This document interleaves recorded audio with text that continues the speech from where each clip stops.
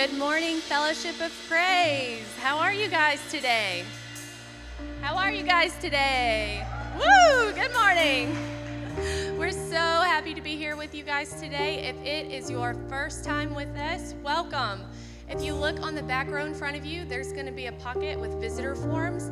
We would love for you to fill that out, take it to the Welcome Center at the end of service so that we can meet you face to face and give you a gift bag for coming for the first time. And good morning to our online church family this morning. You are just as much a part of this service as everybody in this room, and we are so thankful to be here with you this morning as well. If it's your first time viewing with us today, you can also fill out a visitor form. There'll be a link in the comments and also a link in the description box for you. We've got some really exciting things coming up. Tonight is the FOP Youth Party. Woohoo! So if you have youth and you have questions, you can see Pastor Chandler. He's on the drums. when you have a guy who can play multiple instruments, you have to try to look for him sometimes. But the youth party is going to be at Pastor Matt and Bobby's house. So if you need directions and more information on that, you can see Chandler today. And also, this month is Pastor Appreciation Month. So if you would like to leave a gift card or a written thank you card, you can do that at the Welcome Center. Microphone died. Oops. All right, for the next event, if you are interested in serving, we would love for you to serve on our media team. We need camera operators, live stream operators. So if you could send an email to Ellie, email address is media at fopchurch.net. We'll get you signed up and you'll be working on our media team. Last thing, but not the least, trunk or treat. Look at your neighbor and say trunk or treat. Trunk or treat. If you haven't already, go on our website and sign up to um, have an actual trunk. Um, and then we're just asking that you bring your candy, but we will also have extra candy if need be. Um, the last thing for that, we need volunteers to work. So we're going to have booths, we're going to have games, we're going to have food. So if you're interested in working for that, going to have you sign up actually this morning, not on the website, but this morning. If you'll see our kids' teachers, um, either downstairs or upstairs, they have a sign up sheet for you to work. All right? All right. So let's pray. Everybody stand up if you're not already standing. Let's just welcome the presence of the Lord in the house this morning. Father, we thank you for this morning. We thank you for what you have already done before we even entered into this house. God, we thank you for those not only in this place, but those watching online this morning. We pray that you would do a mighty work in this house, Lord. Let your will be done in Jesus' name. Everybody says, Amen.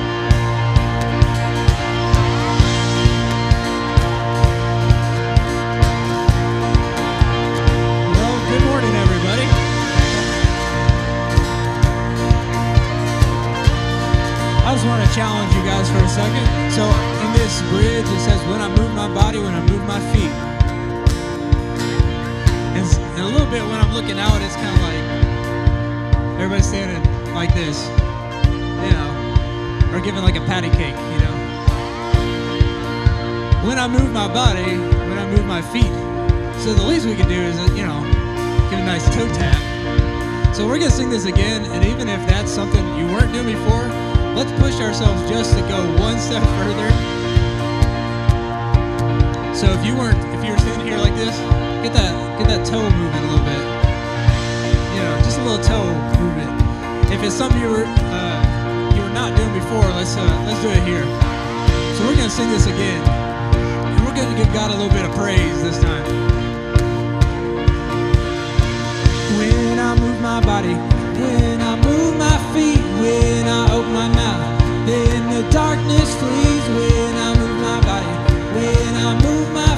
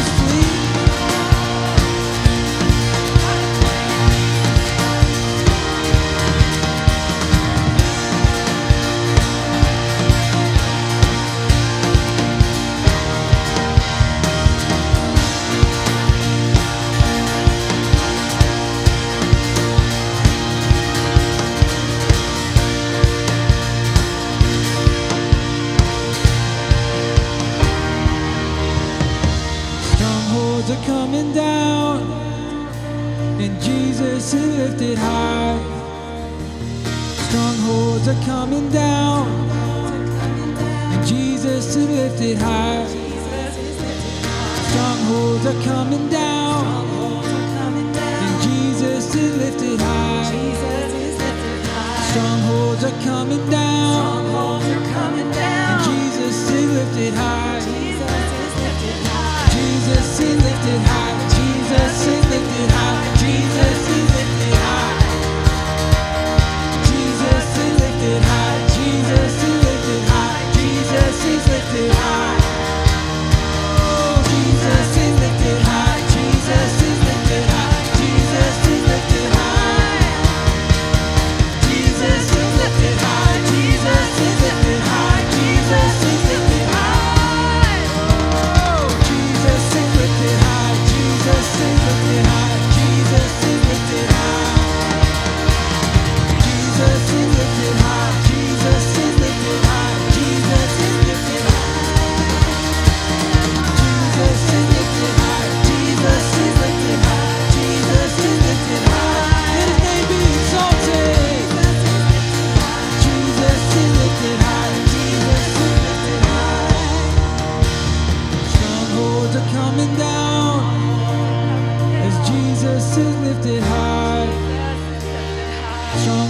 coming down as Jesus is lifted high.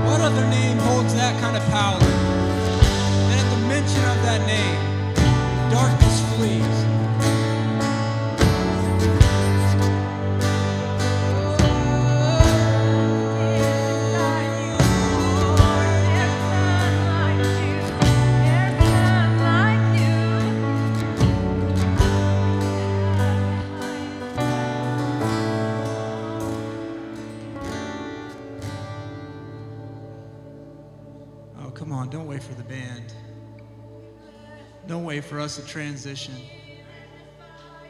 Oh, Jesus, you are worthy. You are worthy. You're worthy. Lord, when the music's blazing, you are worthy. When there's silence in the room, you are still worthy. Jesus, let every other name fade away.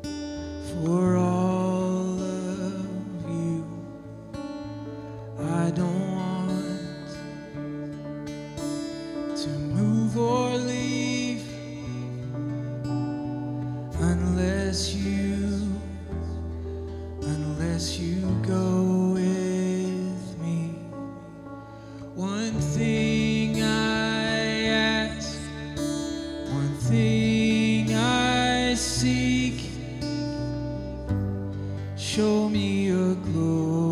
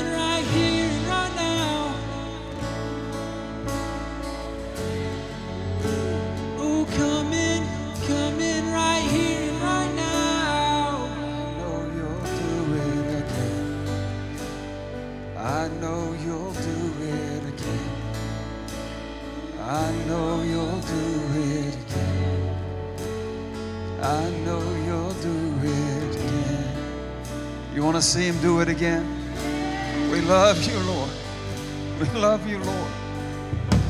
We love you, Lord. Thank you, Jesus. Thank you, Jesus. Thank you, Jesus. Look at your neighbor, say you're in the right place.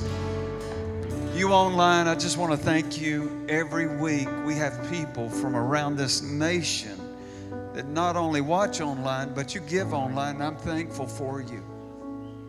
Hey, this morning, um, well, Friday night, uh, I preached for my pastor, Pastor Cletty, 40 year anniversary. Come on, let's give it up for that. 40 years, 40 year anniversary. And Stefan, he, he helped me by dancing. He used all those dance moves I taught him. And, uh, but uh, we, had, we had a great time there. And I can't tell you how many times I've tried to wiggle out of this sermon to preach what I preached Friday night because that was ready and that was hot and that was good. And uh, but I'm going to talk to you for the first time this year. Now I know we're in October, but I'm going to talk to you for the first time this year on giving. So if you're visiting today, you're lucky. So I'm talking about giving today. You online, don't don't cut me off. Don't turn me off. I haven't asked for anything this whole year. This whole year. And that goes back to actually Christmas. Um, I, I've often called it my lawsuit, my birthday suit, because my birthday is Christmas Eve, and I got sued. We got sued. I'm, when I say me, I'm talking about us. Nine years ago, on my birthday, uh, so I always called it my birthday suit, and uh, that's funny, guys. That's you can laugh, but uh, uh, it wasn't fun. And uh, five years into it, we won. Uh, six years into it, we lost. Seven years, I mean, it was just appeal after appeal after appeal after appeal. We finally realized these guys will not go away. They only want one thing, and that is money. So it cost us. So our elders and board, we just decided we're out of this. We're not doing God's money this way anymore. But it cost us. A, it cost us literally a half million dollars during the Christmas season. What you don't know, and I'm, it's, it's fact, you know. So you say, are you slamming people? I, it's fact.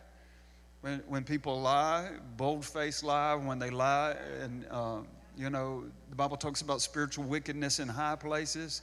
Well, we expect corruption from the world, okay? I hope you're expecting that from politicians. We don't expect it from the church. But when we deal with that, it's a little bit harder to deal with in, in a spiritual sense and to reconcile and to be able to go forward. But God helped us to go forward. Uh, what you don't know is I got up in this, this service, our Christmas Eve service has really become a big service. And on Christmas Eve, as I was getting up, I, I looked at my phone and it was tallying the interest uh, because there was a lien placed on our church building here. Even though we said, hey, we'll do this, and we've got all this money set aside in a bond, uh, they went around to actually just try to make it double down a little bit harder and uh, put a lien on our church, which doesn't matter. We're not trying to sell the church. You know, the lien would be taken right off. We had all the money in a bond, and I didn't mean to get into this conversation. Man, this is a rabbit hole. You should have looked at me, Bobby. I can't see your face. She's usually looking at me, and I know, back up, back up, man. But uh, we were able to, to borrow from ourselves, not, not go outside of this, these walls, and we were able to do that, get our bond money back, do all of that. And, and I'm here to say this that uh, I felt like me in my flesh, I felt like this is the end, God. You know, this is the end. This, this week actually is 24 years I've been here and he won't leave. When will he leave? 24 years that I've been here and still have a southern accent. I think that's a miracle in itself. But uh, uh, so I thought, Lord, this this is it. I mean, this is a sign. There was a, like an internal split in the church. There was little all, all kinds of little things going on, uh, and I just thought, Lord, what what is this it? And then I've felt, and I'm not one, you, you won't hear me, I'm not one to say, God said. I, will say, I believe God's saying, or I'm impressed with God's saying, but uh, I'm very careful with that because I see people get it wrong all the time.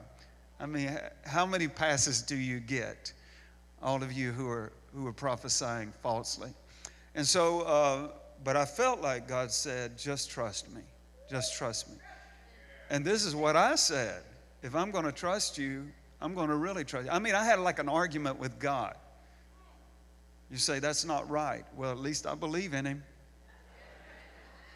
Those who come to him must believe that he is and that he is a rewarder of those that diligently seek him. And I said, well, if, I, if, if, if I'm not supposed to worry about it, I'm not, I'm not even, that was my protest. That's like kind of like a spoiled child. I'm not even going to receive an offering. Some of you know that because all that Christmas season, you don't know what we went through. It was kind of concealed. Ten, ten months later, I'm telling you this. And so I, I didn't receive an offering. People, we put boxes on the walls. People said, like I've done many times, because I don't, I don't put that at the top. I always just like, and they said, Pastor, you forgot to receive the offering today. But I knew. Second week, they said, Pastor, you, you forgot to receive the offering today. But I knew. Third week, they're just like, what's wrong with him? How can a church get by without receiving an offering? And so 10 months later, there was only one time in the last, this 2021 that I received an offering, and that was on a day when we had an African missionary. And I said, You know, I would really like to buy. He wanted us to help with his farm. And I said, I would really like to buy it. And we, we literally, sorry online, but we cut you guys out of that blessing because I didn't want, I didn't want that. I didn't want that out there. And so I just said in here, and in house, it would have been $18,000 to buy the farm. It, it, it, included, I love to tell this story, it included 15 pigs. Tell your neighbor they don't believe in the law here. You know, we're beyond the law here. 15 pigs, uh, cow or two chickens, uh, banana trees, coffee beans, all that. I thought I would like to buy the whole thing. By the end of the day, in house, you guys gave twenty-one thousand or twenty-two thousand, right at close at twenty-two thousand dollars. You you own property in Africa, uh, so it's it's just like that's how it's happened. But but today, I felt like God said, Now I want you to talk about giving. Now I want you to share about giving. And so, for a lot of people, that's a hard message because that's where they live, you know? Where you worry the most is where you trust God least. Where you worry the most is where you trust God least. When I drive, I'm, you know, I like to think I'm a good driver, but ask my wife. When I drive, especially in the mountains, she has like a fear of heights or something, but she pushes the brake pedal that doesn't exist on her side all the time. I mean, she does. She's like, What are you doing? That's stopping nothing. You know? But she does. That's what worry is. That's what worry is. It's pushing a brake pedal that doesn't exist. God's going to take care of us. I'm not, I'm not coming to you with this message today about anything that we need because we're not in need. We're actually extremely blessed. Um, as we just transferred and changed some elders, brought three new elders in, uh, one of our former elders said to the uh, others, said, you won't even find it. It's so erased that that half a million dollars was just, you won't even know it, it happened. You won't even know it happened. And I'm just going to tell you this, that's, that's, the, that's God. That's God. But there's future things that God wants us to do here on this property we're, we're actually looking at a, a school. We're looking at some coffee houses. We're trying to find new ways to get into the neighborhood, to get to where the lost people are. That's what Jesus would do. Amen? And so it's going to require something. But I believe if we are just diligent to do what God's called us to do, we'll be able to do it. Somebody help me with time because I've really got, what time is it? 10 after. Okay, I've got 20 minutes to preach the best message you've ever heard on giving. Father, help us today, Lord God. Speak to us. In Jesus' name I pray. Amen. So, uh, Bobby and I were here not too long ago, and we, we've done this a few times, but we'll come in here and pray. And you don't know it, but music is pumped through this church. Really, the only time music isn't playing in this church is when I'm preaching. I mean, it's always it's always pumping through this. We had a guy looking at the school, you know, this building as a school and just walking through, but music is always pumping through here. We just want this to be a holy place.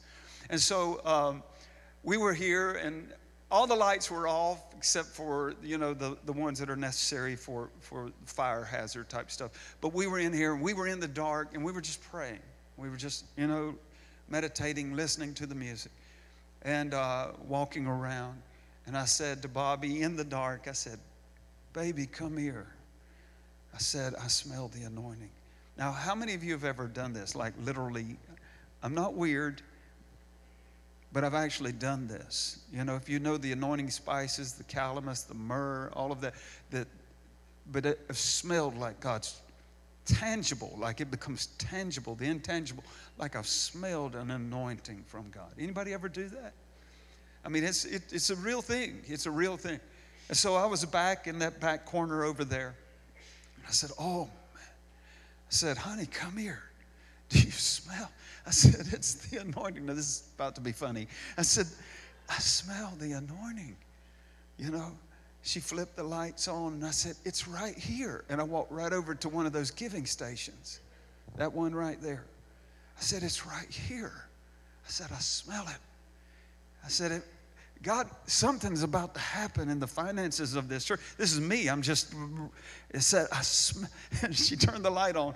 Right below that one right there is one of these uh, little plug ins.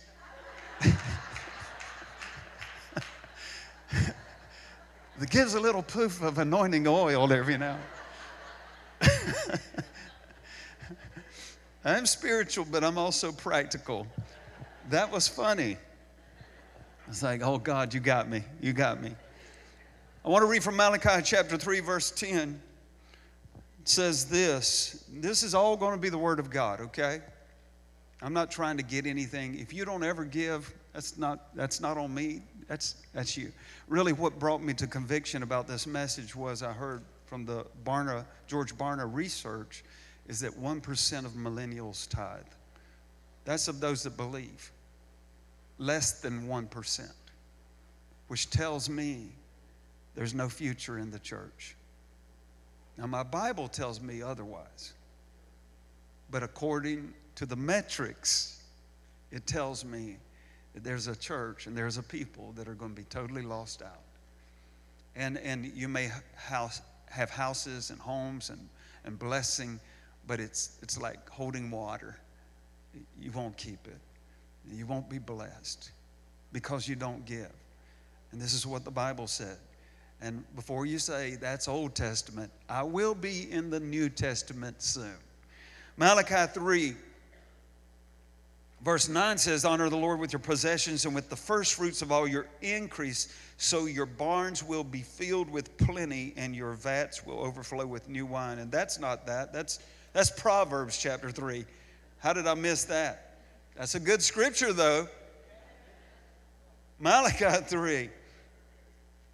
Malachi 3, verse,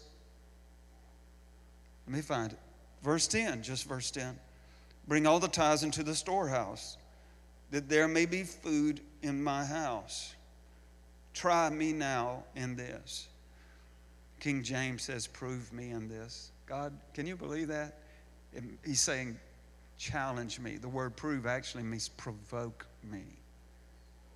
God's saying, I dare you I dare you. This is God.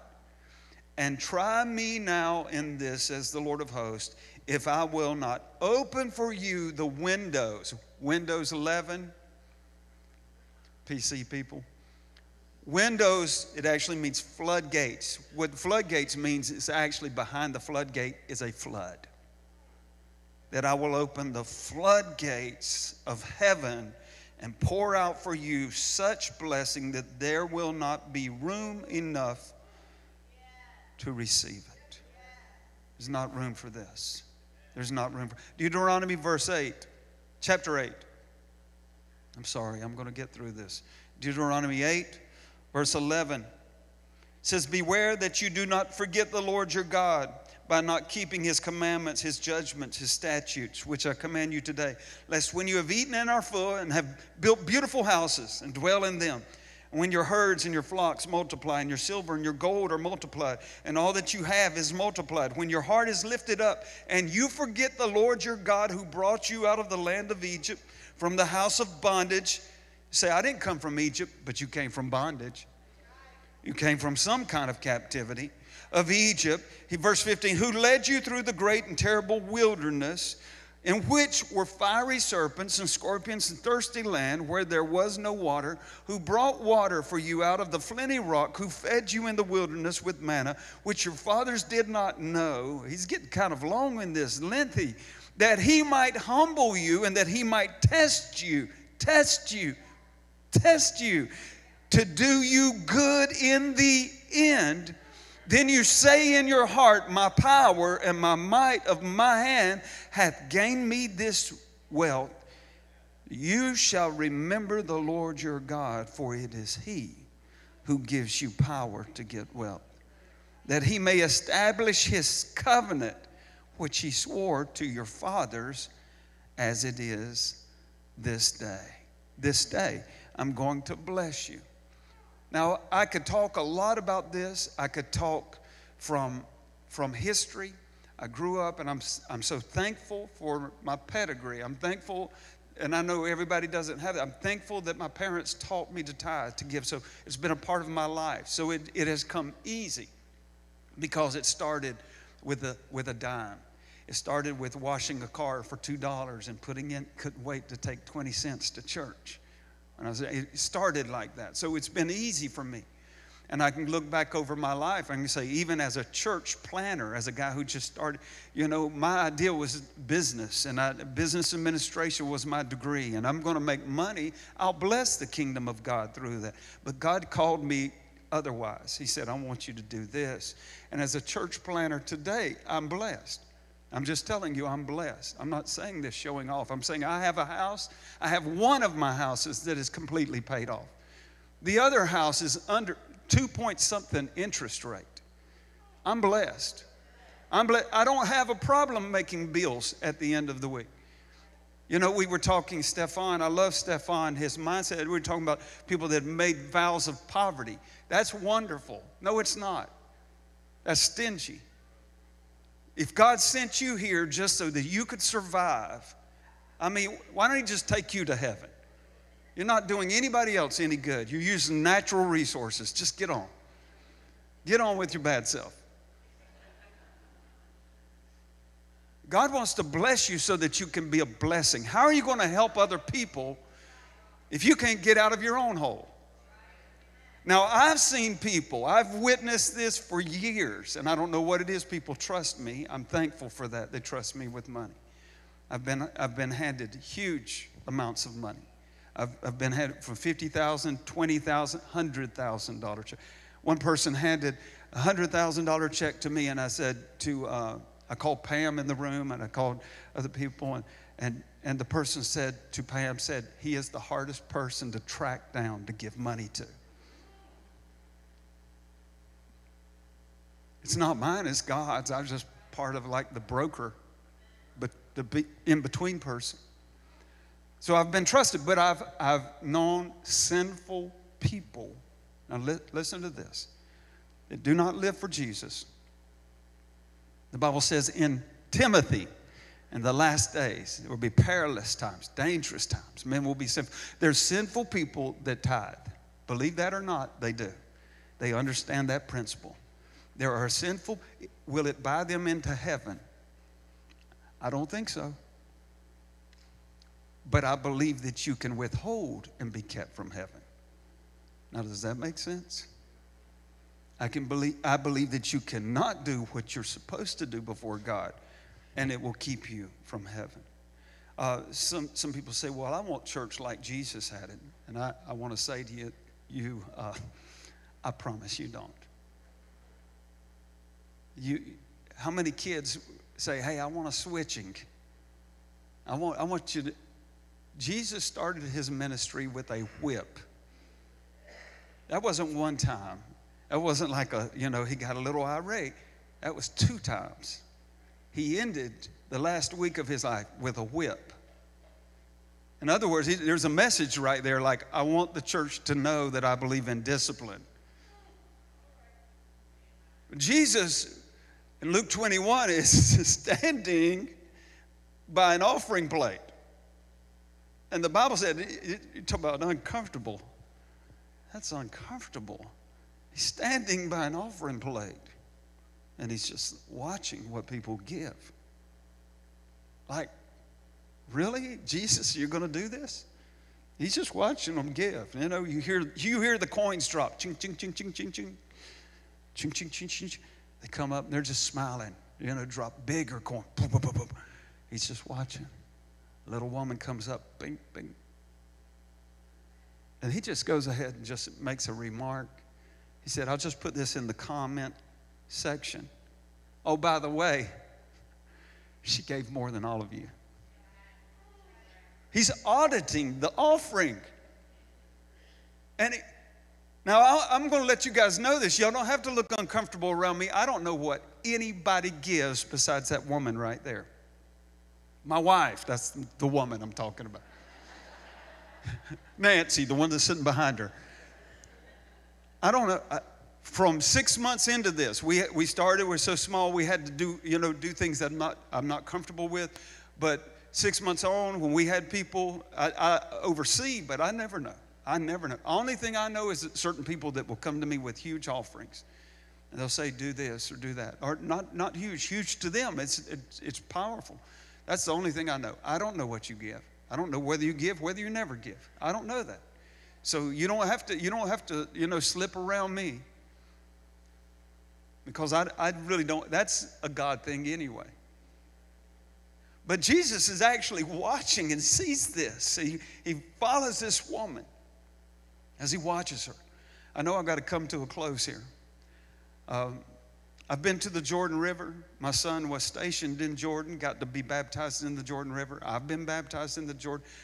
Bob, you've been baptized in the Jordan River. Who, who else has been baptized in the Jordan River? Okay, we got some Jordan River people. If you go to Israel, you're going to be baptized. It doesn't matter. You're just going to do it. Why do you do it? Hot day. Hot, it's kind of sticky. I think I'll get baptized. Anybody? Why would you do it? Why would you get baptized in the Jordan? It's the Holy Land. Well, Jesus was baptized in the Jordan. At least that's why I wanted to. It's like Jesus was baptized in it. And, and the same water, the tributary of the Jordan, goes down to the Dead Sea. The Dead Sea is the lowest land based elevation in the whole world.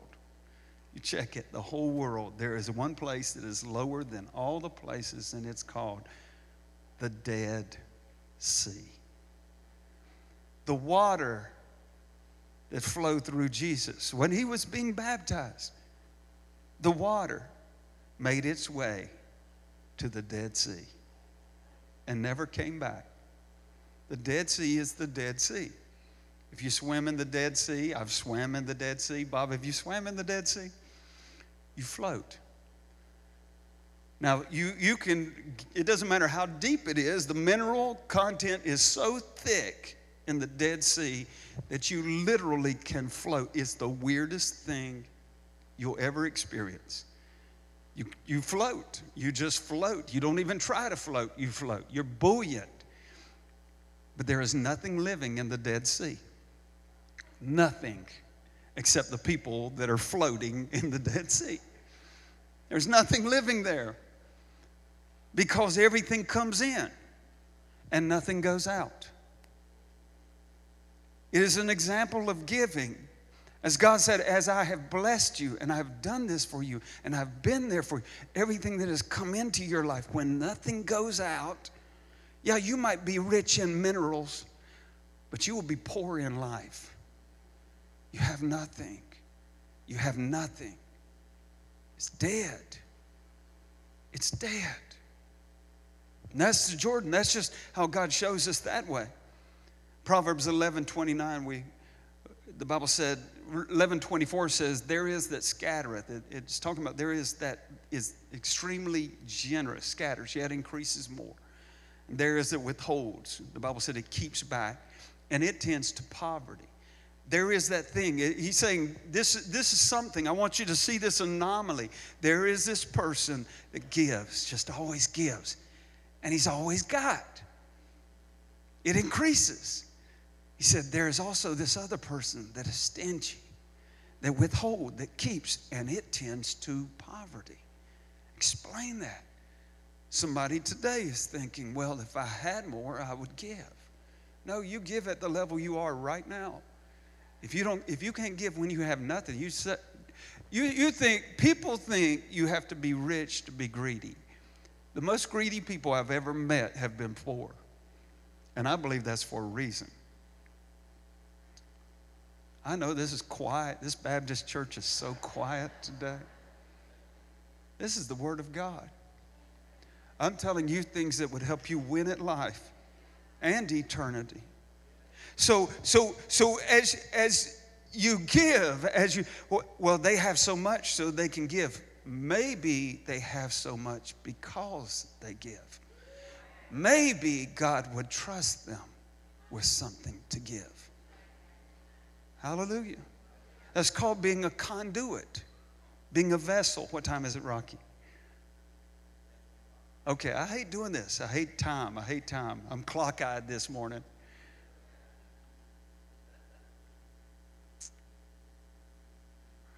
I'm going to move on down. Well, John 12, there's a lady that comes before Jesus and she, she breaks an alabaster box. And uh, I think Mark called it spikenard. Uh, spikenard. And she breaks this box, and the whole room is filled with the aroma of it.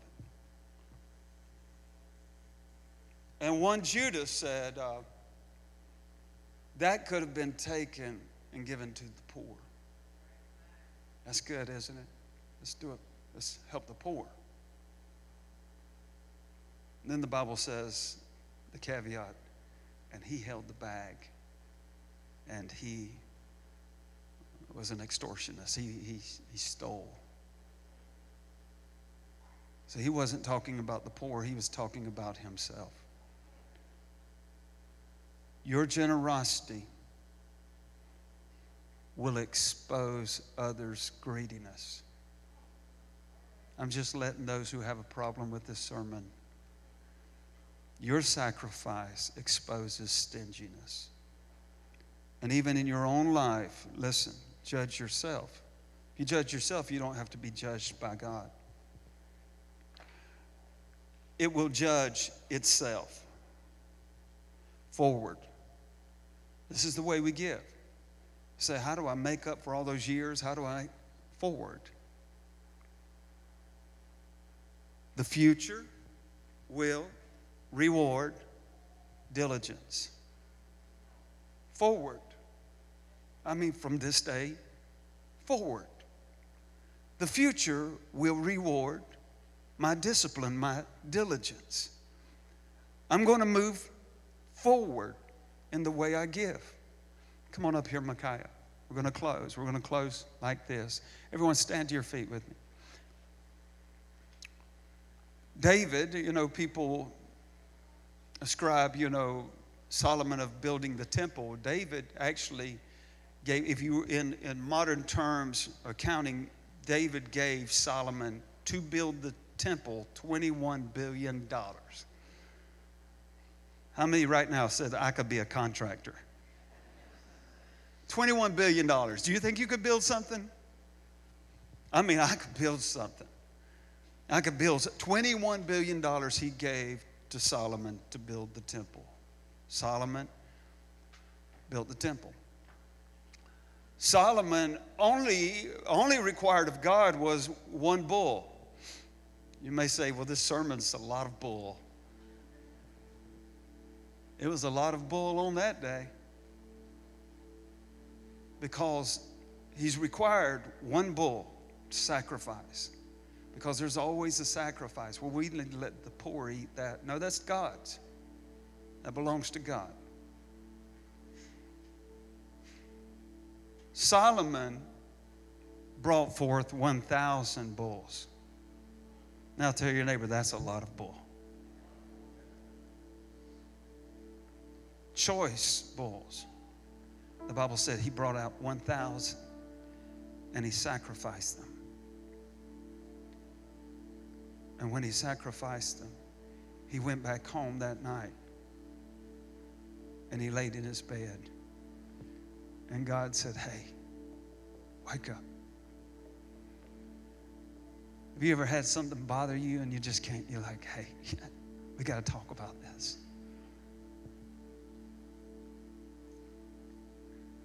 The Bible said when you give to the poor, you lend unto God. God won't be a God won't be in debt to anyone.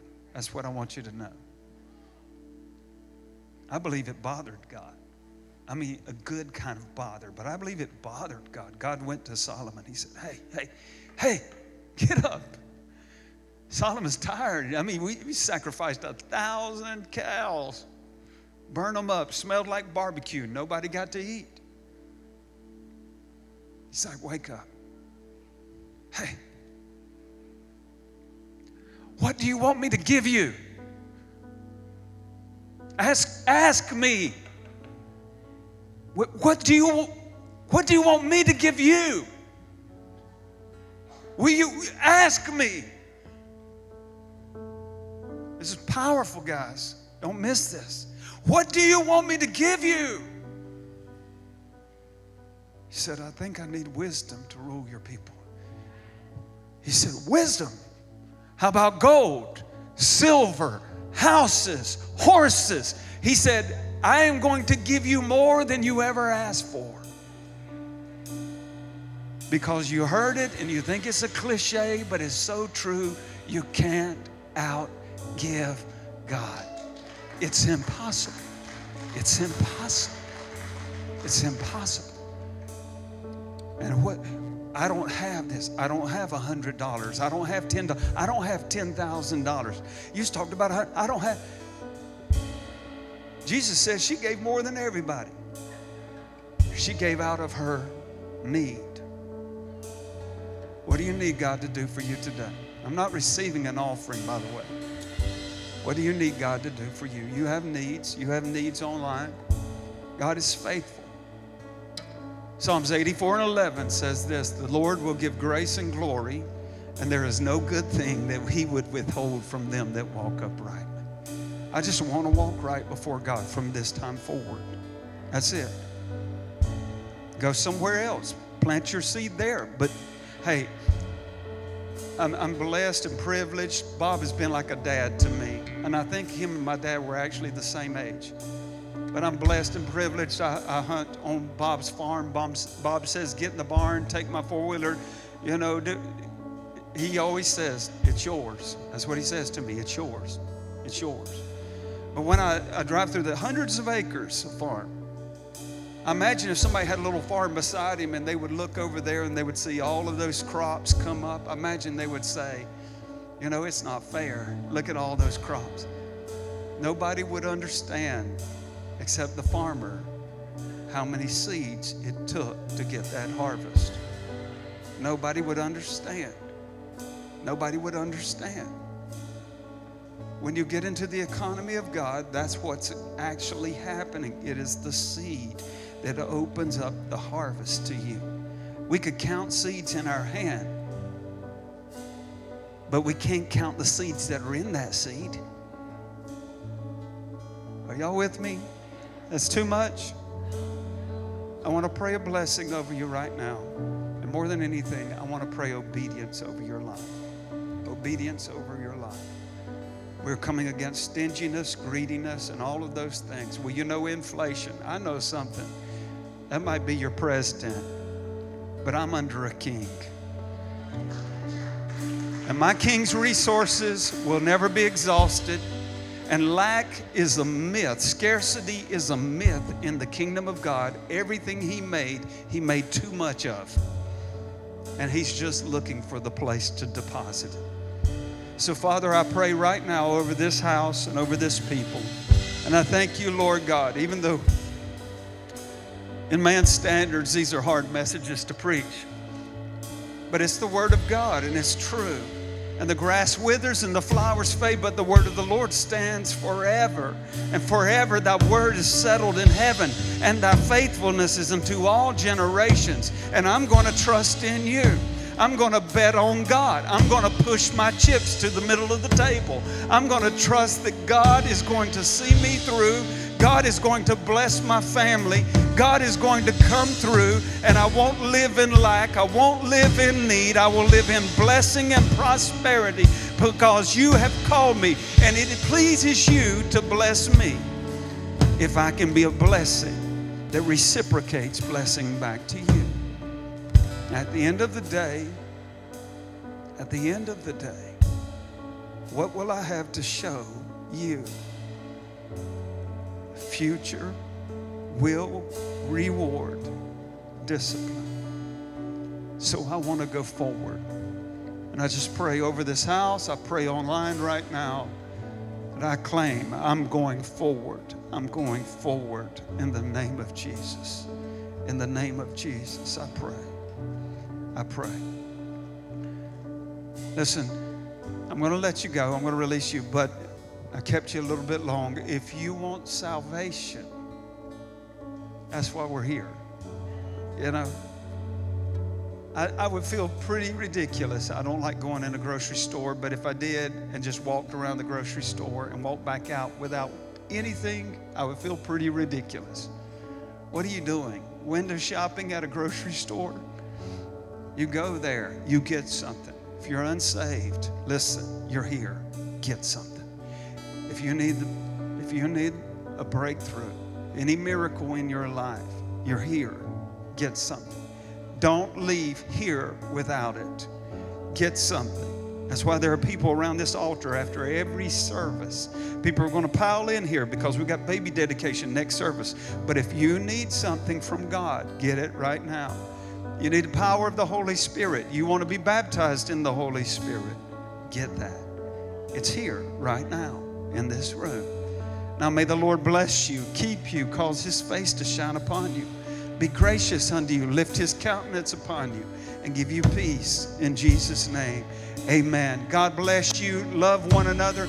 Hey, you need something? Come to this altar right now. Come to this altar. Don't hesitate. Just come on down. Come on down. Thanks so much for tuning in today.